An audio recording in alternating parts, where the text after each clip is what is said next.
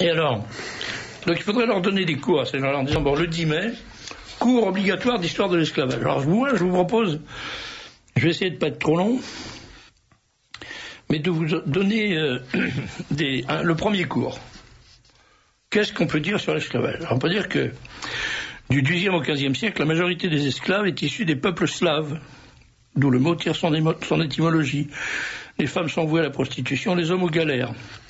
La castration est courante. Peu y survivent.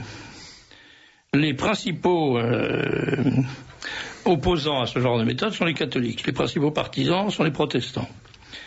Euh, L'Angleterre concentre euh, tous les signes de participation au grand programme d'esclavagisation. Sa monarchie, très tôt liée au destin de la, franc-maçonnerie, contribue à accentuer les souffrances d'un peuple contraint à un esclavage, aujourd'hui cadenassé dans les amnésies du politiquement correct. Pourtant, cet esclavage non répertorié comme tel s'est développé en Angleterre et s'est montré bien plus cruel que celui qu'ont subi les pauvres noirs, d'Amérique. Alors là, il faut accrochez-vous parce que vous allez avoir des informations qu'on vous a jamais données ailleurs que dans le libre journal. En 1765, sur 23 enfants employés par l'entreprise St. Clement's Danes, 18 sont mortellement blessés. Ça, c'était le travail des enfants, des enfants esclaves. 64 des 78 enfants ouvriers d'une entreprise de subissent, subissent le même sort. À St. George Middlesex, 16 enfants sur 18 meurent d'accidents du travail. Dans l'Angleterre du temps, le taux de mortalité de la main-d'œuvre enfantine est estimé à 90%. Les rythmes d'imposés de travail. La journée de travail dure en moyenne 16 heures. Les enfants sont employés à nettoyer des conduits de cheminée, dont par souci d'économie, les foyers ne sont pas éteints. Les accidents sont nombreux, mal ou pas rémunérés. Les petits ramionneurs qui doivent mendier leur nourriture sont décimés par la tuberculose et le cancer des bronches.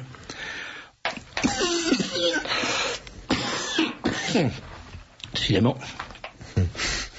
Dans The White Slaves of England, John C. Cobden décrit la cruauté des patrons. En 1833, dans une usine, dans une usine de Manchester, un garçon de moins de 10 ans, arrivé en retard, est contraint à porter des poids de 10 kilos autour du cou. D'autres, roués de coups, meurent. Dans les mines, des dizaines de milliers d'enfants servent de bêtes de somme, attelés à des chariots. Dans les cimetières, les épitaphes témoignent de l'âge des esclaves. William Smith, 8 ans, mineur, mort le 3 janvier 1871. Alentour, des enfants de 4 ans reposent dans d'autres petites tombes. Dans The Factory System Illustrated, William Dodd note qu'en 1846, plus de 10 000 ouvriers anglais, en majorité des enfants, ont été blessés, mutilés ou déchiquetés par des machines. En 1846. En 1840, un médecin de Stockport voit mourir une jeune fille, la chevelure happée par le roulement à vide d'une machine. John Randolph, virginien de Roanoke, voyage en Irlande et en Angleterre, accompagné de son serviteur. Il écrit je ne pensais pas être autant choqué par la misère des paysans de Limerick et de Dublin. Johnny est même fier d'être un esclave. Écoutez bien ça. Johnny est même fier, Johnny c'est son serviteur, hein, est même fier d'être un esclave noir de Virginie. Il était horrifié de voir des taudis, des blancs mourant de faim. La vie des paysans du sud de l'Angleterre témoigne l'historien anglais William Cobbett est pire que celle des esclaves noirs américains. En 1834, les fermiers du Dorset tentent de former un syndicat pour préserver de la famine les veuves et les orphelins. Ils sont déportés en Australie, comme esclaves. Outre-Atlantique, le sort des esclaves blancs. Premier déporté dans le Nouveau Monde où l'appât du gain a aboli toute morale est aussi inhumain. En 1645, dans un courrier au gouverneur, au gouverneur du Massachusetts, John Winthrop, un George Downing conseille aux propriétaires qui veulent faire fortune dans les Antilles d'acheter des esclaves provenant d'Angleterre. En 1640, dans les plantations de canne à sucre des îles de la Barbade, actuellement au lieu de la Jet Society, 21 700 blancs sont recensés sur 25 000 esclaves. Vous entendez bien? 25 000 esclaves, 21 700 blancs.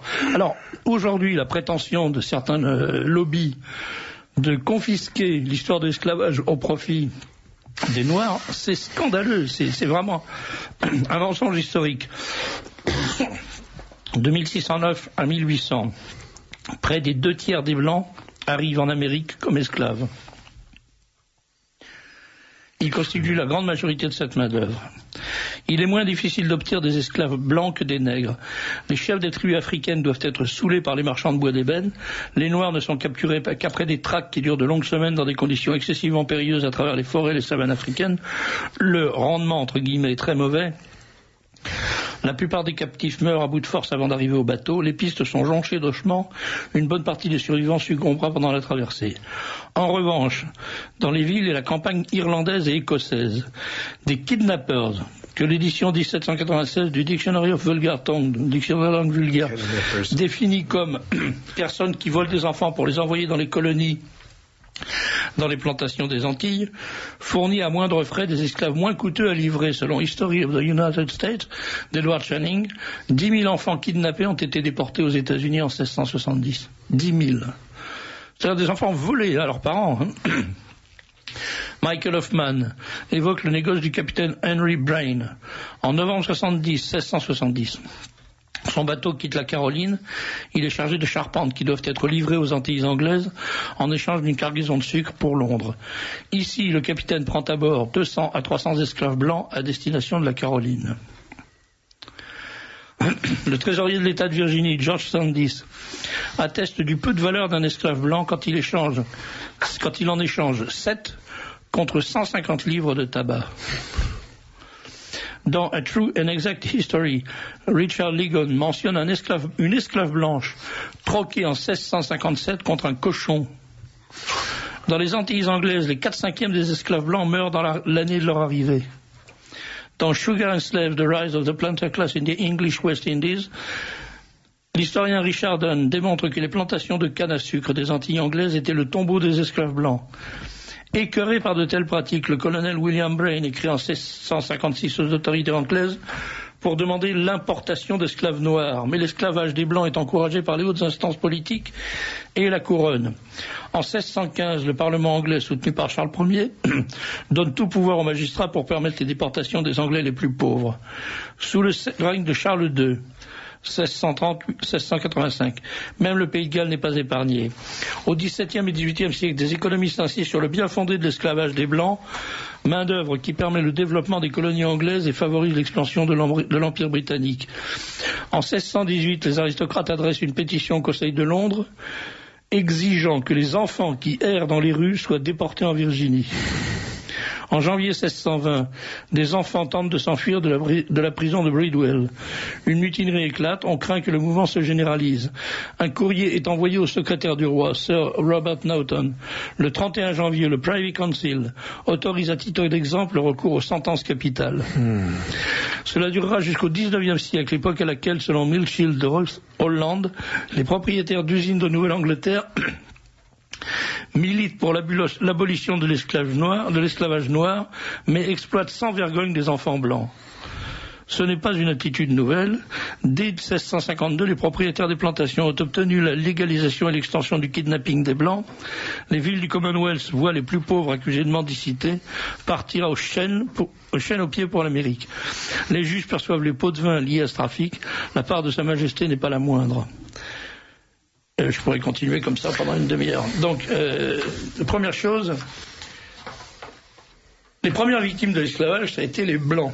Et les blancs, et les anglais blancs, les pauvres anglais blancs, ou les blancs pauvres anglais, ou les anglais pauvres blancs, qui étaient enlevés par euh, la, couronne et transportés aux, colonies, à la colonie, c'est-à-dire en Amérique, pour assurer une main-d'œuvre de qualité et résistante à ces gens-là. Et maintenant, qui est-ce qui faisait ce, ce trafic?